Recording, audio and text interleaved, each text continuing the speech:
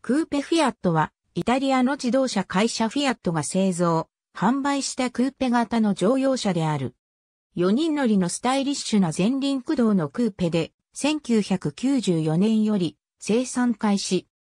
外観デザインは、フィアットチェントロスティーレとピニンファリーナが争った結果、チェントロスティーレに在籍していたアメリカ人デザイナークリス・バングルのデザインが採用された。後に BMW で先鋭的なデザインを発表しているバングルの手法はここでも現れており、ホイールアーチ上部に走った大胆なキャラクターラインが特徴。ピニンファリーナは内装デザインを手掛けている。外装色と同色のラインが入った内装が特徴的である。日本国内でもエモーショナルなデザインが評価され、1995年度グッドデザイン賞金賞を受賞した。プラットフォームはフィアットティーポのものを流用。アルファロメオ145、155、GTV、ランチアデドラは同一プラットフォームである。ボディサイズは全長 4250mm 全幅線 766mm 全高線 340mm ホイールベース 2540mm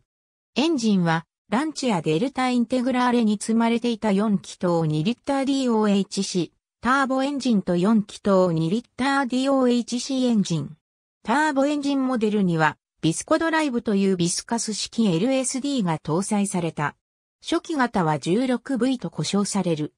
その後、マイナーチェンジを実施し、5気筒エンジンに換装。